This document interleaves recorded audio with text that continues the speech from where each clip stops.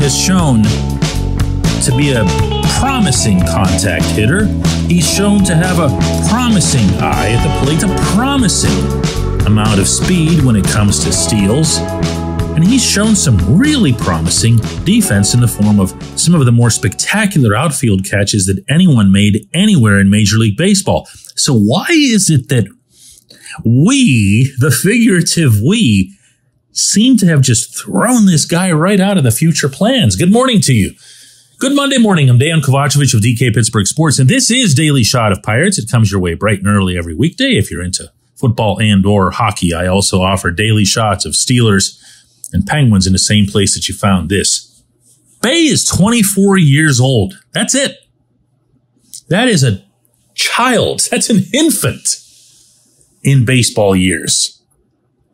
And he came up at the start of this past season after, here comes that word again, a promising spring training and turned that promise into real production, including even a couple of home runs. Remember the one at Fenway Park? Big one at PNC Park, won a game. And you thought, wow, we all did. Wow, this kid's got something.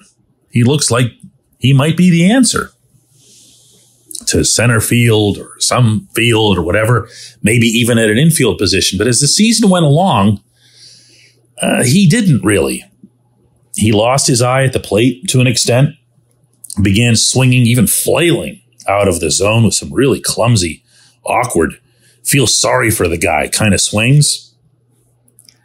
And then some of that, I don't know if this was coincidence or what, but seemed to carry into the field, especially at second base, a position that he really can't play. Uh, couldn't make a throw to first base, even a routine double play relay by the time September had rolled around.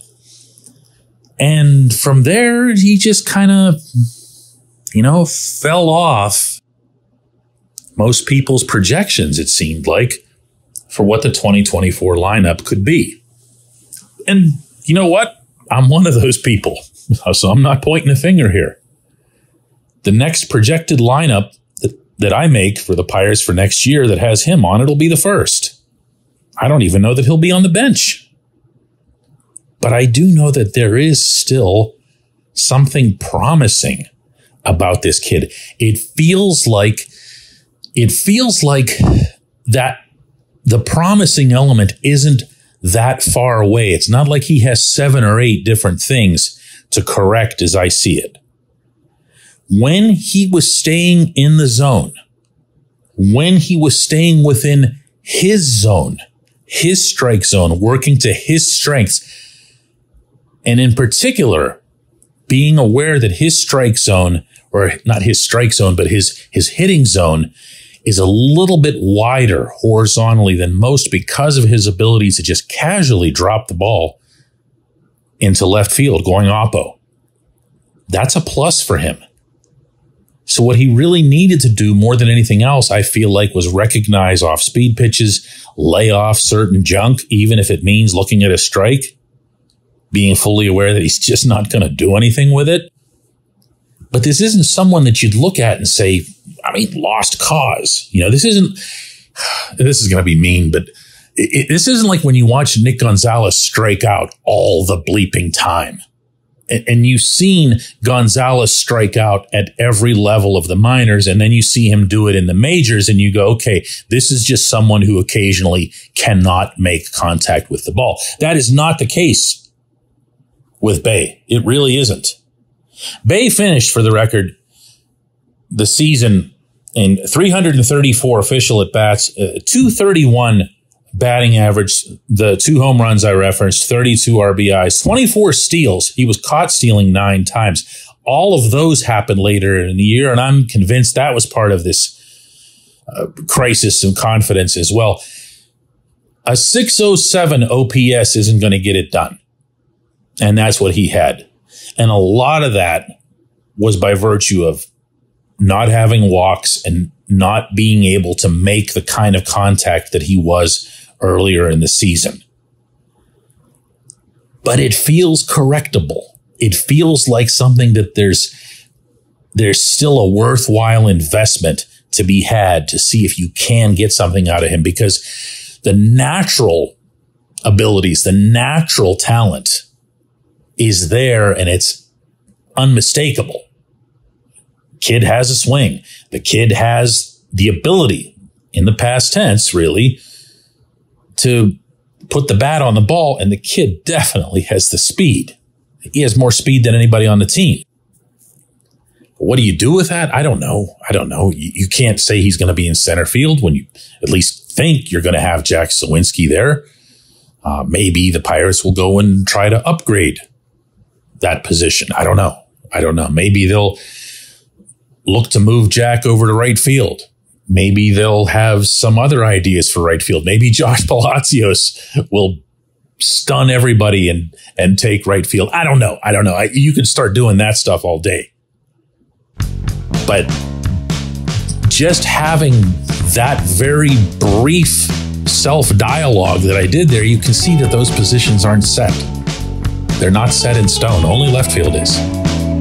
And no, I don't want Bae anywhere near the infield. When we come back, J1Q. This portion of Daily Shot of Pirates is brought to you by our friends at North Shore Tavern, that's directly across Federal Street from PNC Park. It's home of Steak on a Stone, an eating experience, underscoring the word experience. The steak is brought to you partially cooked on an 800 degree stone, and you do the rest. It's a ton of fun, it's a great meal, and it's a baseball atmosphere like no other in Pittsburgh. North Shore Tavern, right across Federal Street from PNC Park. Your front door, your car, your bike, your computer, your gun. Safety is a habit. Every day you lock and secure your home and everything you want to keep safe. Gun safety and responsible storage are no different and the best way to help prevent accidents, misuse, and theft. If you have a firearm, own it, respect it, and secure it. Visit projectchildsafe.org, brought to you by the National Shooting Sports Foundation and the Bureau of Justice Assistance.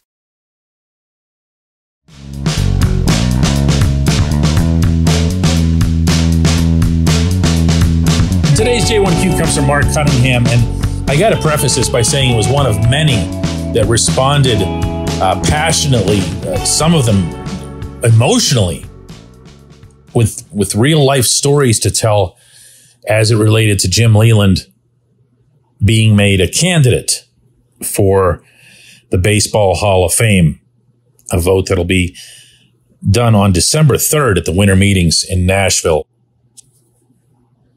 Mark writes, DK, I was stationed at Fort Leavenworth, Kansas in the early 90s.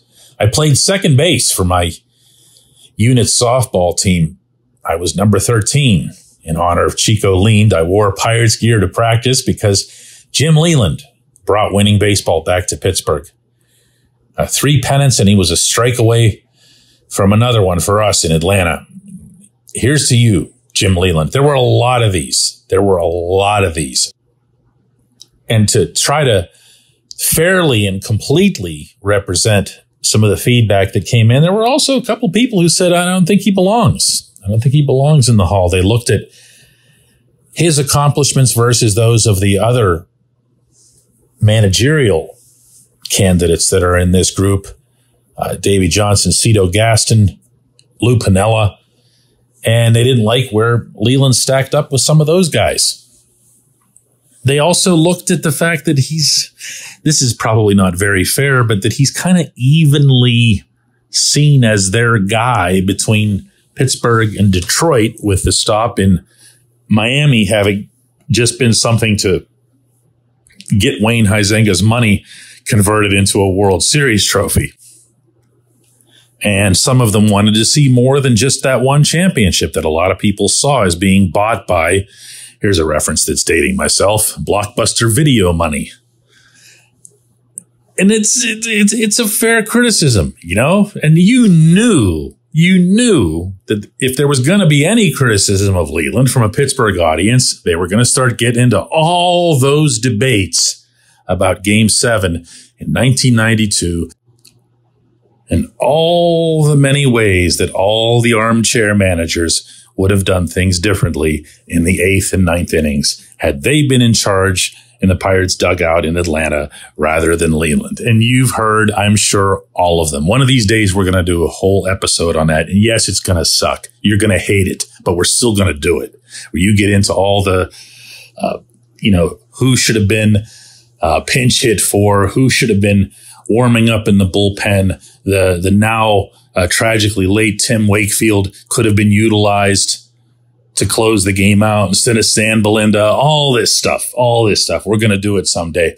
But what I appreciated more than anything else was, was the outpouring. And I don't mean to turn any of this into a negative.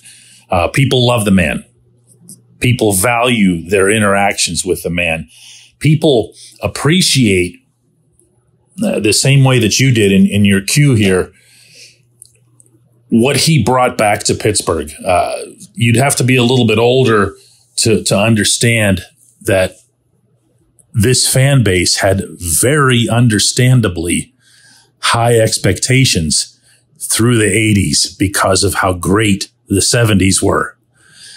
And it wasn't until 1990, 91, and 92 with those three consecutive division championships that that feeling came back and it came back personified in a lot of ways because he's he's such a, a big figure uh, in any setting that he's in by Leyland. So thanks for all of that. It's it's not taken for granted, believe me. Uh, we will be back with another show tomorrow.